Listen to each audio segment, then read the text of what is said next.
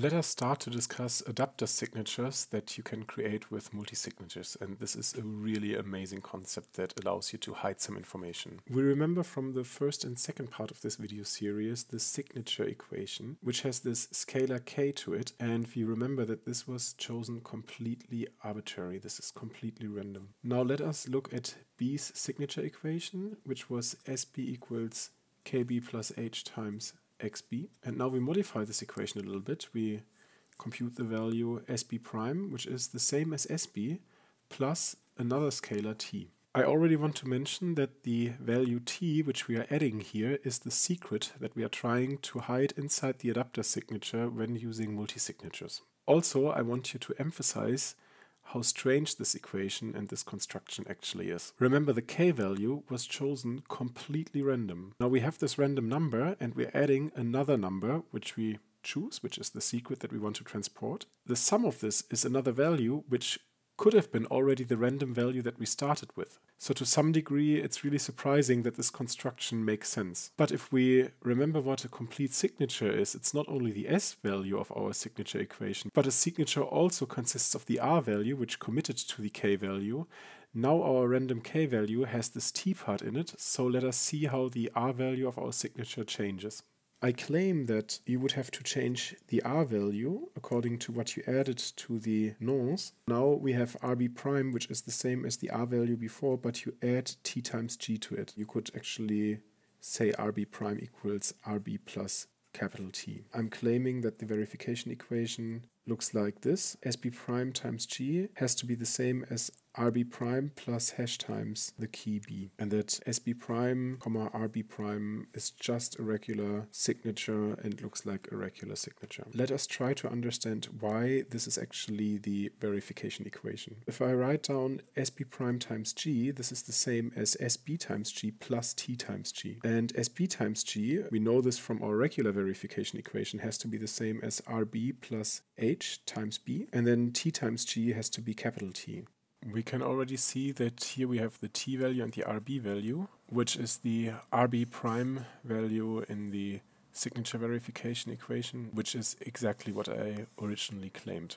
Oh, of course it should have been rb. Let's add some notations. So we call t, small t, as the payment secret, and small t times g equals big T, the payment point, which is uh, previously the payment hash, and the payment secret obviously would be the pre-image. B can use the adapter signature SB prime and add it to SA and uh, do the same with the nonce and this is a valid multi-signature and we call this adapter multi-signature SAB prime and RAB prime. Somehow A now gets aware of this multi-adapter signature. I claim that A can compute T as the following. It takes the signature and it subtracts its own partial signature and the previously known partial signature from B. As we know by definition, SAB prime is the same as SA plus SB prime. So let's just note this down and we subtract the two values that we had before, SA and SB. We see that in this equation, SA is there once added and once subtracted, so we can cancel this out. This only leaves us SB prime minus SB. We recall the definition of SB prime, which is SB plus T, and then again we have to subtract SB, and this cancels out, so the thing that is left over is the adapter secret T. So let us try to visualize this again. There is A and B, and A gets hold of the partial signature of B, and A can verify that this is actually something. A is able to spend from this multi-signature wallet because A obviously can compute SA. A sends over SA to B, and B itself just produces SB prime by adding the secret T to SB. And from this, obviously, B can compute SAB prime, which is just adding these two signatures. Now, as before, if A gets aware of SAB prime, the values SA and SB are obviously known to A. So with the above equation, A can compute the adapter secret T. And A can also check if T times G is capital T, which is the payment point that A might have learned from B earlier. And remember, the payment point is the equivalent to the payment hash. I don't know about you, but I personally find this construction pretty dope. Just think about it. If B publishes the output from this multi-signature wallet, the people in the Bitcoin network don't know if it was a single address, a multi-sig address, they have no idea. And even better, the secret that was transported over to A is not visible to anybody else in the Bitcoin network. One reason why this is working is, of course, uh, by setting up a multi signature address in Schnorr signatures, there's a communication protocol of how A and B exchange partial signatures. Also, I have omitted the hash function and what it should commit to. Also, I haven't really talked about the applications that come from the fact that I can hide the secret in there. I already called the secret the payment point and the payment secret. So if we use this construction instead of payment hashes in HTLCs, and probably we should not call them HTLCs anymore because they're not hashed anymore. We can build escrow services, we can do payment decorrelation, we can have multi-hop locks, we can also get rid of stuck payments. So there is a large variety of applications that come from this little trick maybe you want to know about this. Uh, my question to you, since this channel is for the community, is do you want me to go into more details about multi signatures and adapter signatures and the communication protocol on this? Or would you rather want me to explain how payment channels on the Lightning Network really work? I would obviously love to talk about both topics and even more topics, but I also have to keep a little bit track of my time. So, since you are empowering this channel by your donations, by adding to my fundraiser and being Patreons, I want you to involve into the decision and ask you what you really want.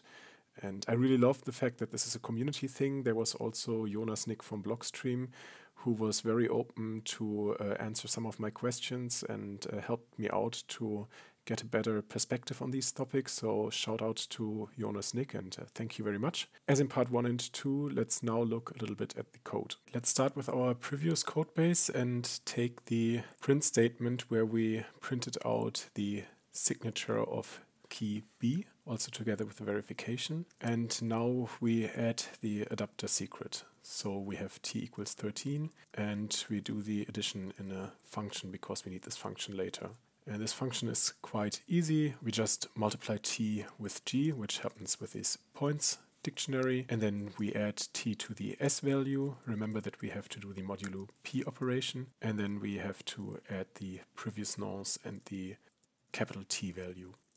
After we have executed our function, we copy the line that displays the partial signature for key B. Now we change all the variables to display the partial adapter signature. And you can already see the signatures are changing. The first one is 2, comma m, and the adapter signature is 15, comma c, which uh, in the s value already is 13 more. Now we recall that A knows two partial signatures, the signature for key B and its own signature. And we can see that the multi-signature that arises from this is 20D. We just check if this is actually a valid signature. Yes, it tells us this is a true signature. Now we look at the two partial signatures that B knows. Actually, B knows three, but I don't care about the signature SB anymore. And then we compute the multi-signature that arises from these two partial signatures that B knows. And we just copy the code from above and change the variable names to see how the multi-signature now would look like. Comparing the results, we see that our new multi-signature has the value 10, comma Q